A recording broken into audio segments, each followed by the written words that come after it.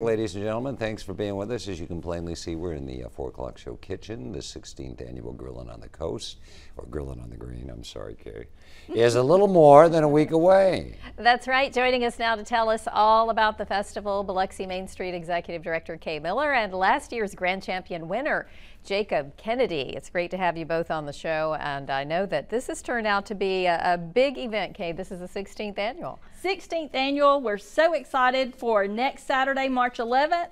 Grilling on the Green. We've got a great day planned from 10 to 5 next Saturday. Now, Jacob, you brought your trophies. They have the huge trophy from last year, 2022. There, you have some other trophies. Yes, sir. Uh, that we're seeing right there. Yeah. So, what was your secret to pulling off the big championship last year? Tenderness.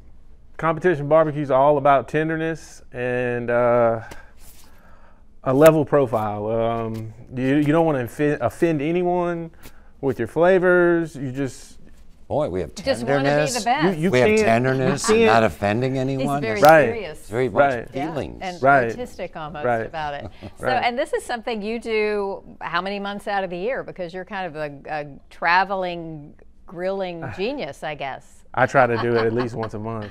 So, what are you going to do? You going Yes. to trim some uh, ribs for us? right? Yeah, I- yeah. I picked Or, these. that's pork or beef? It's pork. It's pork. Okay. pork. These are spare ribs. Um, I was going to show you the different. Like if you want to go to the store and pick out ribs, Yeah. what, what you know, most people don't know what to look for. Oh, you know, those just look good, and they grab them. So I want to show you here. You see the marbling in these. How there's marbling in the striations, and, and it has more fat in the in, in the in the meat, Does that mean more flavor then? more flavor. This one here doesn't. I don't know if you can see. So the that's So like that a do and a don't. That's like a do and a don't. I mean, this this will still work, but That one's better. you always want the best meat possible when you're cooking and that competition. means you want more it's from marble. the start. More marble. More marbling, more marbling in, in your ribs, your beef. And then you do the whole slow cooking kind of approach. That's uh, how that It's works. a I d- secret, probably. I don't. I cook mine fast. Really? Yes, yes. Oh, okay. Wow.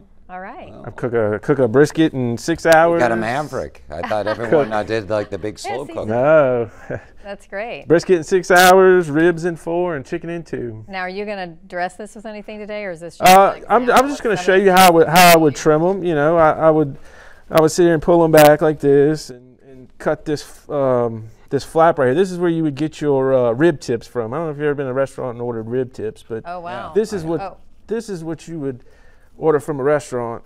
Well, I got to ask Kay another question because we don't have too much more time. And I know this event, it's a big deal, over $6,000 up for grabs for pri- in prize money, right? Absolutely. And also, um, it's a great day of music, and the parade's going to be going by that day. It's March 11th. It is March 11th. Yeah, our music starts at 10 a.m. with Rhythm and Rain. Um, and we've got um, another band at uh, noon, and then another, the parade will go around at 3 this year.